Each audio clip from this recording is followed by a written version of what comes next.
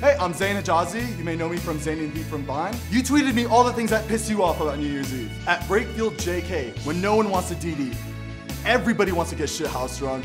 Who wants to drive? At Serge, you said that one resolution that everyone has on New Year's Eve. New Year, new me. Bullshit! At Sexy Style and Sun, you said when you have nobody to kiss, then the ball drops.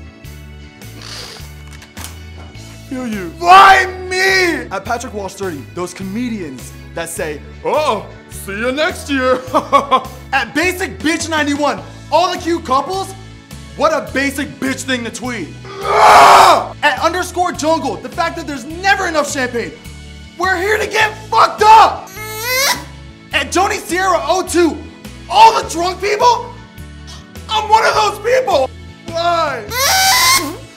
Should I smash? Watermelon, eggs, ornaments, guitar, kitten figurines, a giant balloon full of eggnog. Eggnog, eggnog, eggnog, eggnog, eggnog, eggnog? Why did most people pick eggnog? Laptop, someone's car, a jar of pickles, chocolate, a big ass champagne tower.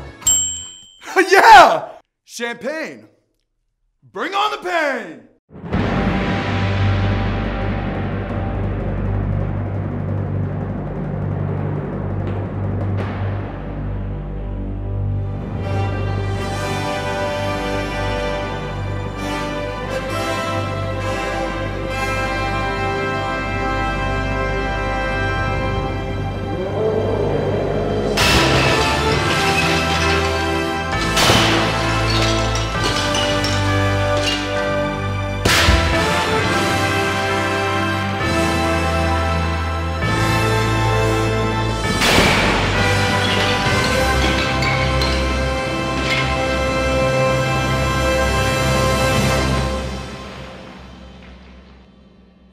Cheers.